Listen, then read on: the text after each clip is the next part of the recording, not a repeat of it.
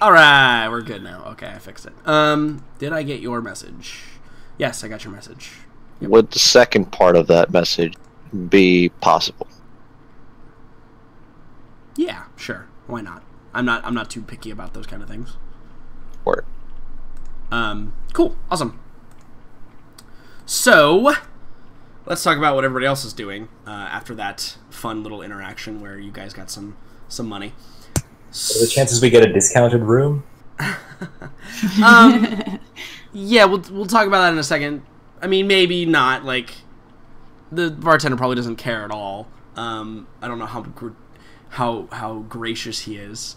Um, but we'll see. Oh, we'll see. Maybe. But um, Hannibal and Morella, you guys are going shopping. Uh, it's totally normal for you guys to do that whole thing. Um, so Morella, if you're if that's all you're doing, then you are just going to like head on back. Yeah, Um, so you would probably arrive first at the uh, at the location, um, and probably see like a site akin to Vi and Arcadi maybe having some drinks and like a plate of food in front of them, uh, talking kind of uh, probably a little bit more upbeat than they were previously. Uh, Vi, I assume you told Arcadi uh, how much he gets, right? Uh, he hasn't asked, so he's not getting anything. Arkady will expect Vi to pay for the stuff while they're in town. Okay. Fair enough. Fair enough. Okay. Yeah. There you go. There you go. Um, and uh, I suppose Morella joined some. And uh, she looks over at Arkady. She's like, "So I assume the rooms are in order." The, yes, we had to defuse situation on arrival, but everything seems quite calm now. I believe Vi has taken it under her generous spirit to provide for rooms. I look at you and then say, "It's taken care of." Yep. Morella I, I am just raises an reasonably eyebrow. concerned she actually paid. I shrug. Morella sighs as like this conversation happens, and she's like, "May I join you to eat?" Please.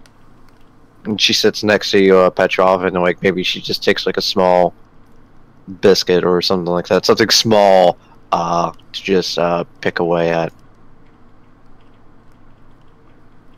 You have no appetite after uh, exertions of last day. Sim- what, what, what has. Arkady's looking closer now here. Is something on your mind? No, I'm just not hungry. Yes, well, you, you may find it is uh, difficult to maintain, he gestures at your terrifying biceps, a ladylike physique without food. She looks down and she's just like, "I will manage. I normally do." Okay. Vi and Arcadi kind of like look at each other awkwardly. Yeah, I was gonna say we We- have like an awkward like back and forth, and then just keep, Yeah, no. adding what we're doing. yeah, I think just it just hard cuts to uh, to Hannibal. Um, so Hannibal, you are uh, you are going to get another. Um, you're going to request another mask, right? Yeah, Because right now you have bandages all over your face, right? Like that's yeah, like- and I don't, I don't feel like looking like a mummy anymore. yeah. You're going. You're you're full mummy right now. Yeah, so I'm calling out my bay. Okay. Yeah, cool. Um, so so Dane appears as you tell him to come invisible. He's like, "Greetings, Jackson. How may I be of assistance to you?" Sup, bitch? I need um, I need to contact my girl. He- He's like, "One moment. She does not wish to speak with you right now, Hannibal. Could you tell her that I need a new mask? I will put the request in. Is there anything else I can do for you?" Go away. He just he just Holy bows. He just bows and winks out of existence. Come back.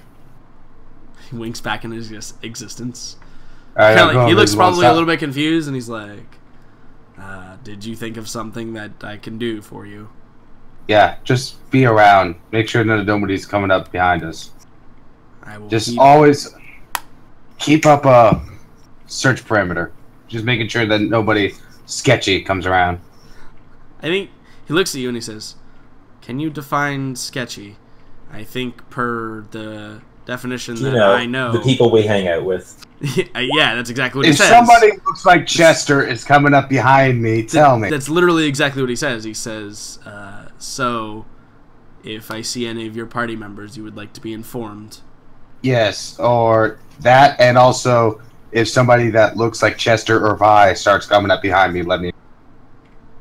He's like, he kind of like for a moment, he's like, "But that's part of your party that I just said," and then he's just like, "Very well, I will be on the lookout." And he vanishes like invisible, but not disappearing out of existence. And he, you feel his distant presence somewhere in the vicinity, looking out. God, I fucking hate that guy. Mhm. Yeah, that's pretty much how that ends. Okay, cool. Uh, then we cut over to uh, the most important one of all. So Chester, uh, would you tell Farron what, what you've dragged him into currently? Um, no. Great. So, I, actually, no, I, I would because uh, I mean, if you're gonna need it, if you're gonna get his help, he probably needs to know what the hell he's doing. yeah, and he also knows spells. So True. uh, yeah. So as we're walking and alone, I Jackson, take out please. these. Uh, I want to beef jerky. Yeah, mute yourself, Jesus. uh, I take out these two books that are very clearly magical, and I say to you, uh, "Is there any way that you know what these are?" You already Fair. found that out. He's aware, but he's asking No. somebody different there, Jackson. Because you were useless. What the fuck? So, I mean, so you can identify that they're they're grimoires, like without a doubt. Yeah. If you're able to identify anything inside of them, will require a pretty high arcana roll. Um, Um, you also know that they would be useless for you. Oh, totally. Um, I mean, I may as well give it a shot. Uh, but that's all I'm asking. Yeah, I don't think you can I- identify well- anything inside of them, yeah, but you know I what they are at least.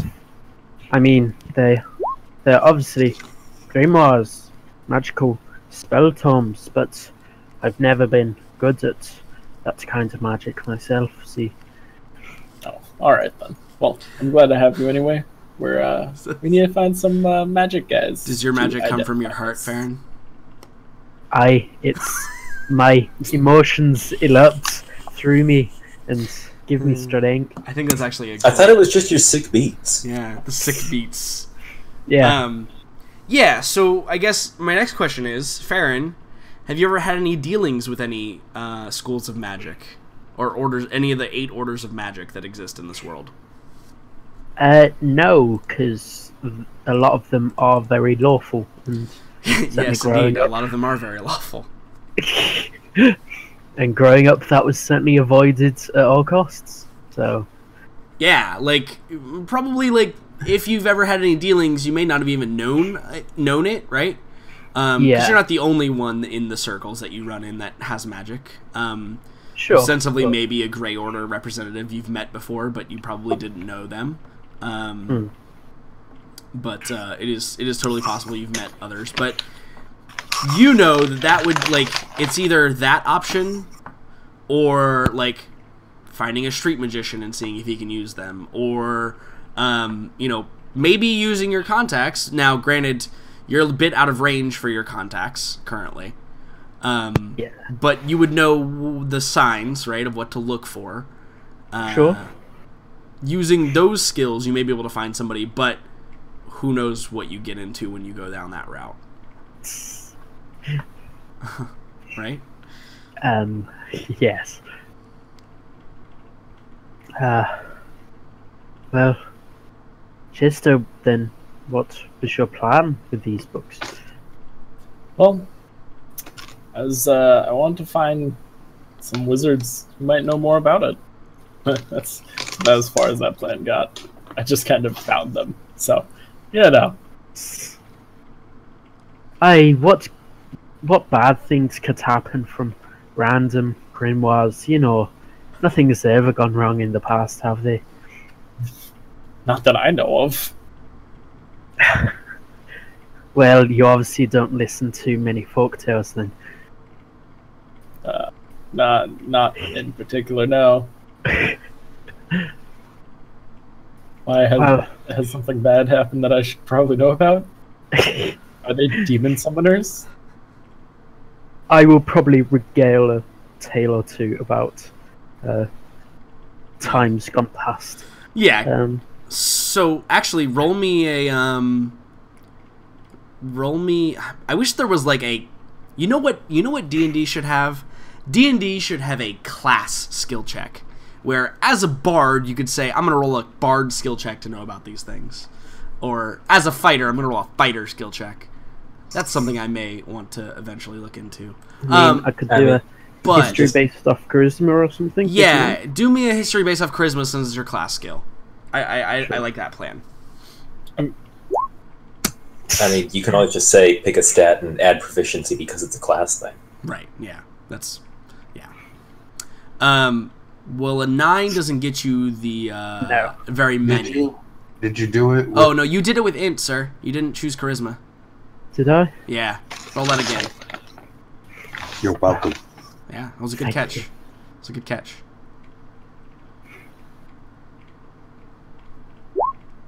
Sixteen will do it. Although it still says int. I don't know why it says int. I'm definitely changing it. Whatever. We'll just say you get a 16. That's fine. Um, you do know a story of a particularly bad grimoire. Um, so you know, uh, well, everybody knows who the great inventor of necromancy Nagash is. Um, it is said that Nagash made multiple tomes uh, called the Books of the Dead, right? And the Books of the Dead were scattered to the four winds by the people who defeated him and given to certain people to like keep protect and stuff like that. Um, but it said that um, you know in the years past they've resurfaced and stuff like that. And you know a story of a um, surprisingly enough an orc tribe that discovered a Book of the Dead, and they used it to summon a lot of. Um, they used it actually uh, to go to a barrow and summon the great heroes of of old and control them to attack the empire. Um, and and yeah, like grimoires of power. It's just a story of like grimoires of power falling into the wrong hands.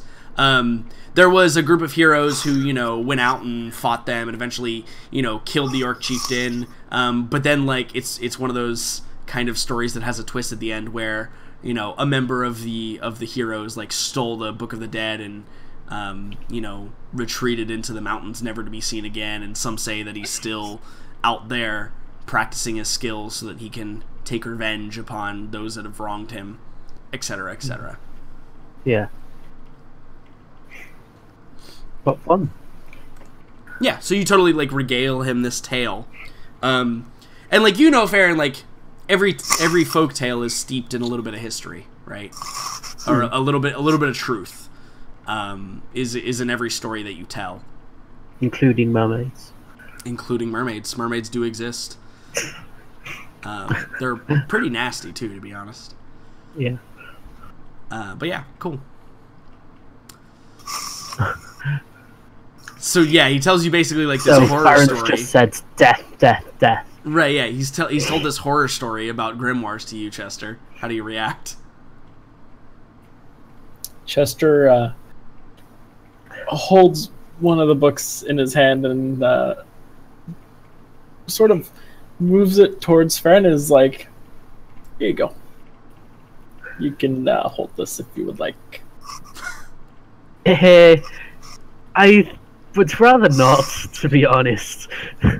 Oh, oh, come on! It's it'll be fine. I mean, Yeah. if you really want these out of your sight, one of the proper orders may be more equipped to deal with them.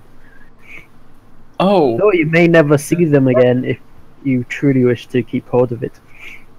oh, oh, oh no! Let's. uh Can can we run? Do you, do you know where one is in the city?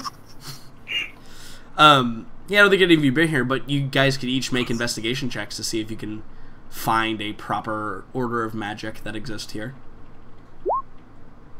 Okay. Um, why not? Because I feel something bad's going to happen if we don't. Uh, you know, with these scary stories, I am now inspired to find Yeah.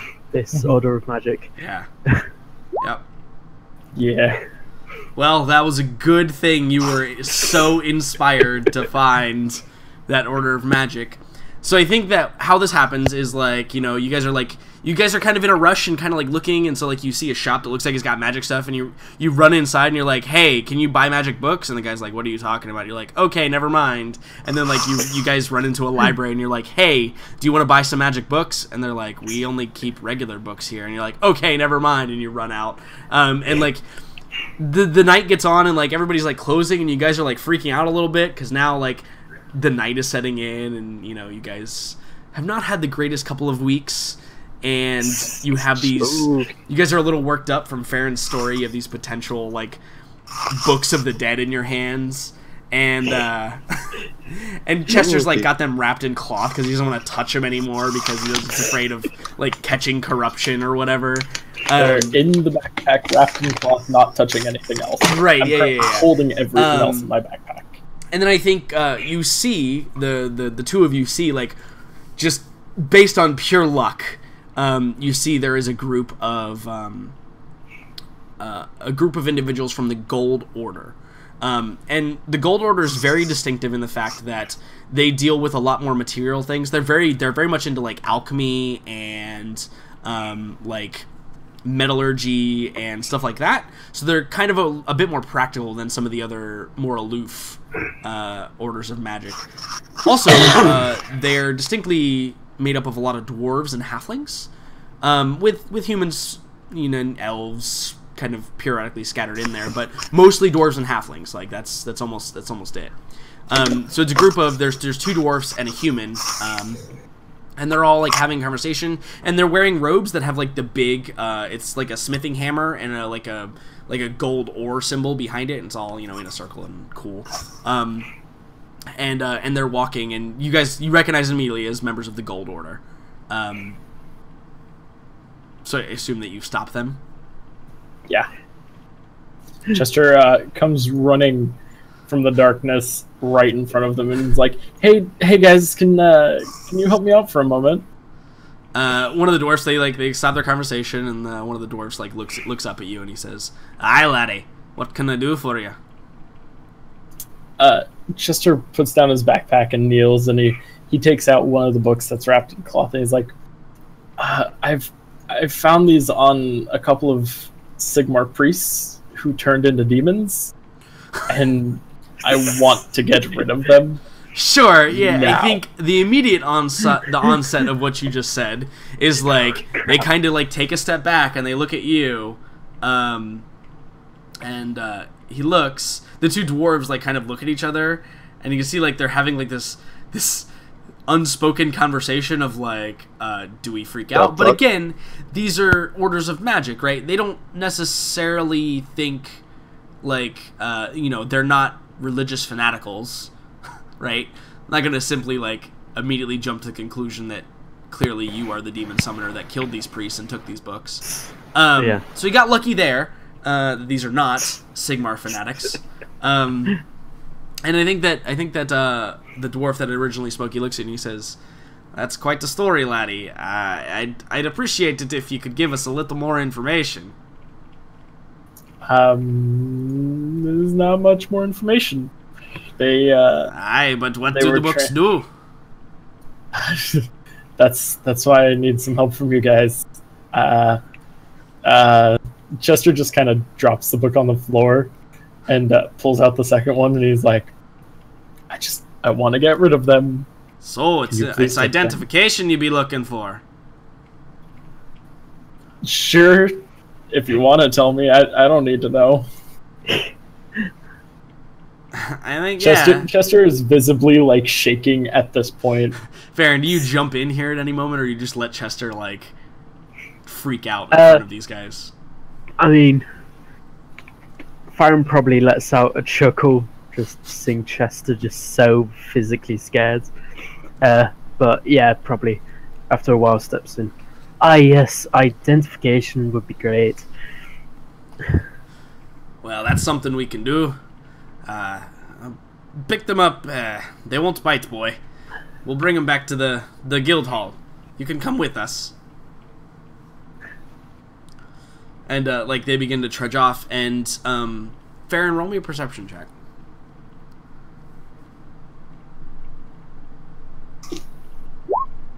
Okay. Uh, the human in the group looks far more interested than the two dwarves do. Um, the reasons behind that, though, who knows?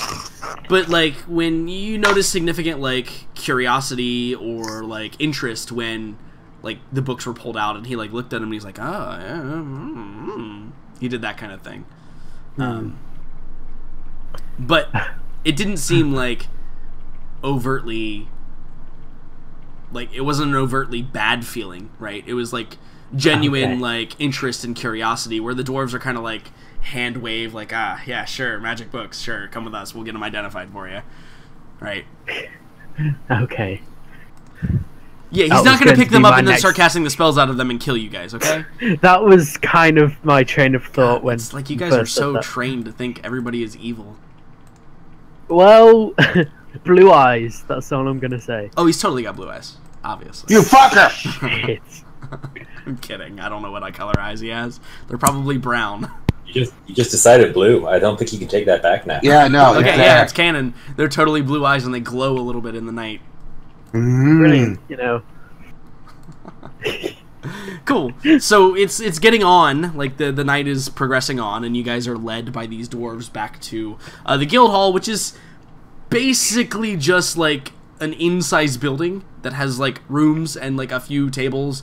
Doesn't have like a bar or anything like that um, but it's clearly got like a kitchen in the back though and like it's kind of your general larger building in the in the town. Um, and probably the reason why you guys and I think you both realize you've run past this place like three or four times today trying to find somebody to get these damn books off your hands. But the sign that's outside is like so faded, like the paint is so faded that like you can't even tell what it is anymore. Um, So you guys have just bypassed it just like a hundred times. Um, so you guys are escorted into the building and you know you're given like kind of cushy seats in like the waiting area and there's a few other dwarves and a few halflings and like one or two other humans that are like kind of progressing or like they're having drinks or whatever or eating their food and um, generally it's kind of like a nice like social like homey atmosphere in here which I don't know may or may not relax you. You guys can decide whether or not it does. Uh, and then eventually, I think that you guys are you guys are said, uh, you know, someone will be with you in a second. Um, and the human that that met you, he comes up and he's like, uh, "I am very interested in in those books that you have, fine sirs. May I, pray tell, take a look at them?" Ch- uh, Chester's still on the ground, and he looks up, and he hears the the connotation of his voice. He looks at the dwarf and back at the human, and he's like, "He can't have them." No. Uh, you guys, uh, maybe you missed it, Chester, but you're like back at the guild hall now. Guild hall. Right. Yeah. Still on the ground. Yeah, sure, sure. So, and he's the only one there. So you say, uh, "No, I'd prefer somebody else looked at him." He's like, "He's like, uh, all right. I was, I was under the impression that you guys needed some assistance, but uh, very well. Uh, we'll wait for the masters to show up." Yeah. He gives you like kind of a kind of a, a low bow and turns and Just, walks away. just to, I think, just to put it out of our minds, I'll may as well throw this out. And I can't tell at all. yeah, no, he seems like he seems like he was, you know, maybe a little bit offended, but you know, he's kind of hard to read a little bit. Chester's gonna do the same. Never mind. you get about the same. Like, it's not. He doesn't seem to be, you know, overtly like, oh, "I'm gonna get you. You ruined my evil plots and plans." Um, not that that's not something you pick up at all. Uh, but you probably also don't pick up like the, you know, maybe a little bit of his pride maybe hurt a little bit, or like you know he's confused or whatever. it's hard for you guys to read them. Chester still doesn't like how he talks about the books. Mostly because of your own ineptness, not because that he is generally a hard person to read. Yeah. Just to be fair. Yeah. Um, but after a few moments, the uh, clearly there's like a there's like a, a dwarf um, and a halfling that come down. Uh, and the dwarf is dressed differently from like the rest of the gold order people. Uh, he's got robes that are like kind of they're they're trimmed in gold, like actual. You can see like gold flakes uh, inside of the cloth, which is like in this world means you have literally all of the money that existed. Um, like that's that's a sign of like very high nobility or very highly um, profitable individuals. Like to have your clothing laced in gold is is a very big sign. Um, the rest of it is like pure white uh, with a little bit of he's wearing like a red under tunic um, that kind of you know you can see through the the robes as he moves around. And the the halfling comes over and it's a it's a girl and she is not dressed like a spellcaster or anything like that at all. She doesn't have robes on. Um, she's got leather boots and like these darker gray leather pants, uh, and she's wearing like this uh, this leather kind of. Um, well, it's probably not leather actually. It's probably like a like a cloth tunic um, with you know like a big collar on it. It's kind of popped up a little bit. Um, and she's got two short swords on her side, and she's got a bow strung kind of across her back. Um, and for those of you that would notice a thing like this, um, she's she's a good-looking halfling. Like she's quite gorgeous as far as halflings are concerned. If that's something that you are uh, you are interested in, she rolled like a you know like an 18 on her on her hotness roll. Um, Damn. yeah. So, you know, if, if that's something you pick up on, Farron, you know beauty of all types, so you probably definitely pick up on the fact that she is a good looking course. halfling. Um, and uh, and yeah, they those two approach you, um, and the dwarf says, uh, "Greetings. I am Galvek. I hear that you have some goods you need identified." Uh, Yeah, we we do. It's these two books here on the ground. he um he approaches and he he goes to like pick them up he like he reaches down and then like has a moment of like looking at you you're like you're not gonna freak out if i touch these right and then i assume that you let him pick them up and he um he picks it up and he doesn't open it he kind of holds it and you can see his fingers like kind of tracing the outside of the book. Um and then he flips it over to the back cover and he traces like the the intricate kind of designs. Um and he he without having to like open it up or anything, he just hands it like behind him and like bends down to reach the other one, and you see that the halfling, um, she grabs it and uh, she like licks her thumb and like flips it open and begins like flipping the pages. Um, and her eyes are like moving like really rapidly, like she's reading like things like really really fast and like absorbing information. Um, and she flicks through the pages like almost at a, at a more rapid rate than I think you could identify. Um, and uh, she closes the book. Um, and by that time, he's like traced the outside of the other one and hands it back and traces the other one. Um, and she she sets that one down on like the coffee table and she you know flips that one open and does the same thing and sets that one down on the coffee table. Um, and the while they're having this kind of conversation between the two of them, uh, but it's one of those things where like people are talking about something that you know nothing about. Um, so you can only hear like certain things like in the conversation right like it's it's not that they're speaking a different language but it's almost like they're speaking a different language right um and Farron like you see like you probably hear like some words that perhaps you've heard before when when people are talking about magic like different levels or like different circles of magic or different elements that things are used with and um Chester is probably mostly rubbish to you uh what they're talking about Completely. yeah, and I think that um, w- once they're done, kind of looking through the two, um, they look at each other, and they the the halfling kind of looks at you, and she says, uh, she's like, "Well, this is interesting. Where did you find these?" Uh, they Just they came off they they came off uh, a couple of Sigmar priests who were turned into demons. I think I think she just she just nods and she says, "Yes, but I asked where." That is very important Uh, for our investigation. She didn't blink at all at that. Nope, not even a little bit.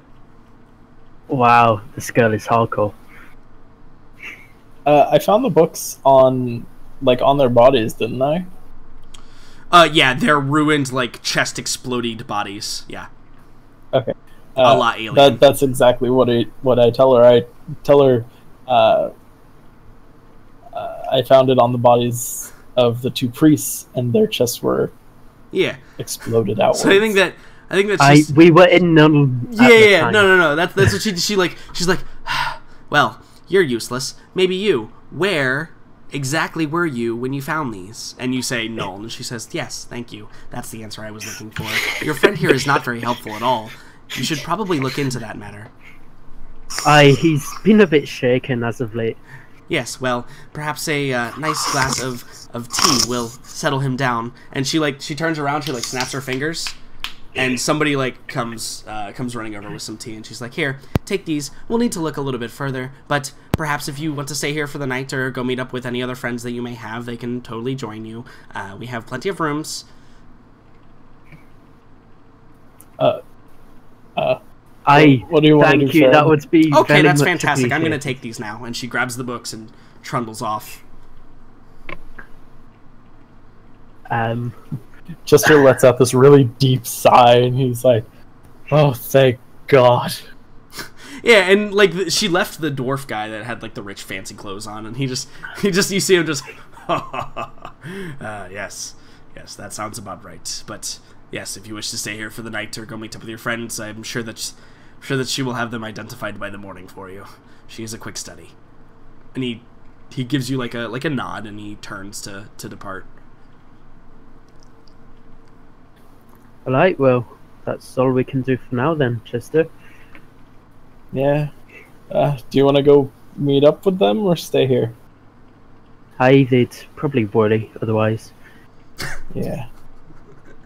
Basically, anytime you guys are not all six together, every like somebody needs to be worried at any point in time. Hey, just uh, ten minutes ago, we're in, in, in possession of two grimoires that could have destroyed the world, for all we know. You're right. So- Back it is. Back it is. Yeah, so you guys, you guys quickly. Do you do you take the do you drink the tea before you leave, or do you just leave it sitting Oh, there? the cup's coming with me. Okay, yeah, you take the cup. That's fine. Um, so uh, you you head off uh, and out the doors and over to the. I assume you had set up in the in the beginning that you were guys were going to the Simple River Inn.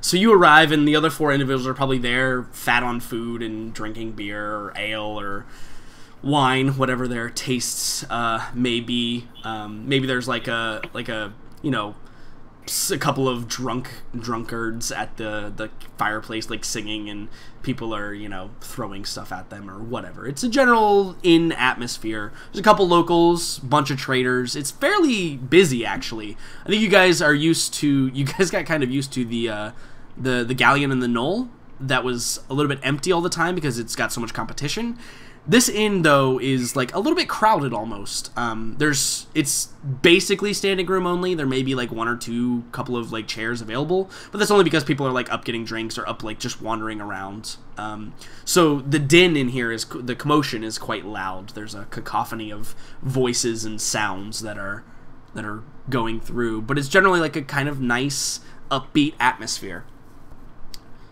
So you guys enter, and I assume you head over to the table where everybody else is. Yep. Okay. So so everybody has been has coalesced again in the same location. Uh, none of you summoned any demons. None of you got attacked by any babies or children. Um, you were just only Oh, a successful day. mildly insulted by a uh, a strange halfling woman. Um, so what is, where does the conversation take us when you when you guys arrive back at your at the location? Well, better yet, here's a question: What are the four of you talking about when Chester and Farron return? I think that as like how far away are we from the uh, pretty much where we're going with escaping? Are like how many days journey out? Um, so you're about three days journey from uh, Averheim, which is the capital, and then from Averheim, it's probably about another week to uh, Sarafel, and then from Sarafel, um, you have to go kind of on foot. Um, but it's only a few days journey on foot to the Mulberg ruins where you guys' intended destination is. So within two weeks, you guys should be at your location. In that case, I might be giving them a rundown about how Skaven work, in case they didn't know. okay, yeah. So you're you're educating them on uh, on this the practices of Skaven and stuff. Yeah, just in case. Okay.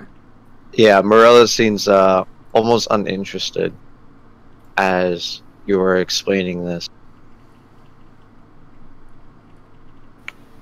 Alright.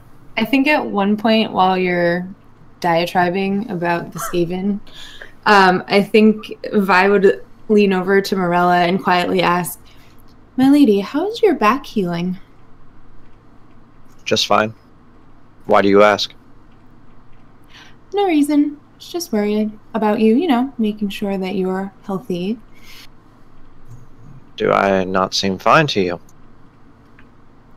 You do not seem fine to me, but I guess that's been a while now, so I'm not really quite sure why I'm surprised. She just nods and continues like uh slowly picking at food and uh staying quiet. Okay. so, you don't care to share then? And then Vi's just like, whatever, and kind of leans back in her chair and only half listens to Hannibal. Sure. Uh, Hannibal, you can have your spell back. Jesus. Um. I want to roll hit dice. Okay, you can roll that too. Fine. You're gonna get a long rest. I'm not gonna try and kill you before you go to sleep. Okay. Stop asking about your damn short rests. Fuck. I asked once.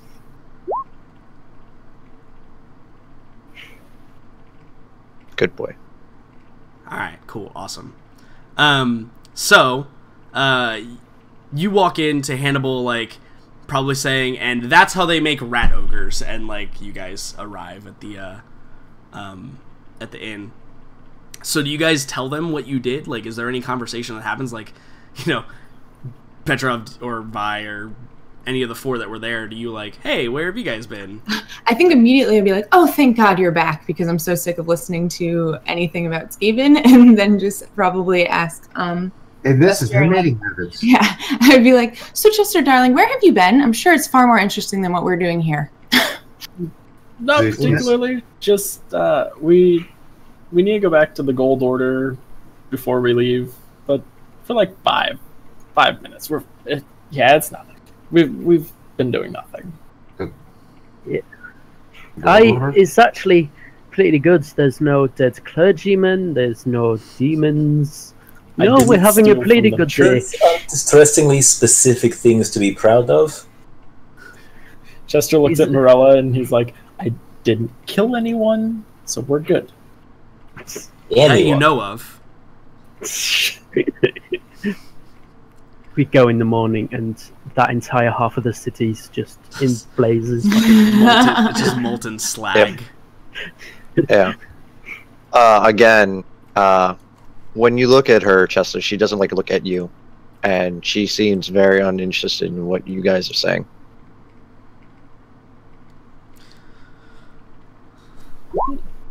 Cool. Is there something on your mind? Not at all. I'm just tired.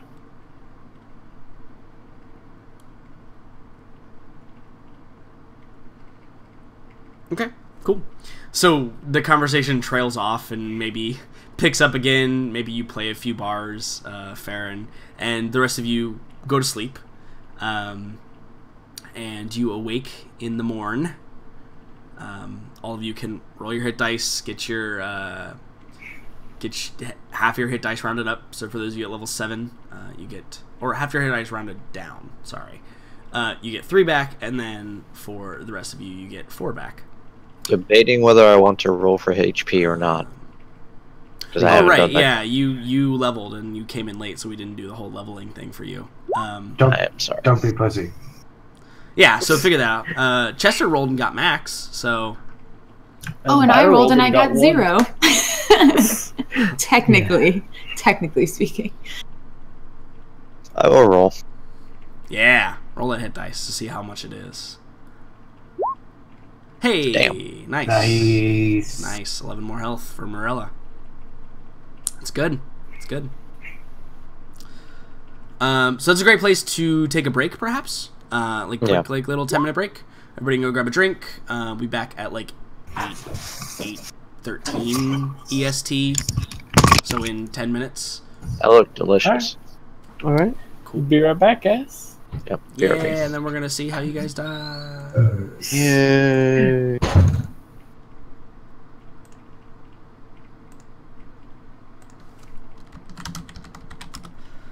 All right, stream. Uh, I'm gonna. Oh wait, hold on.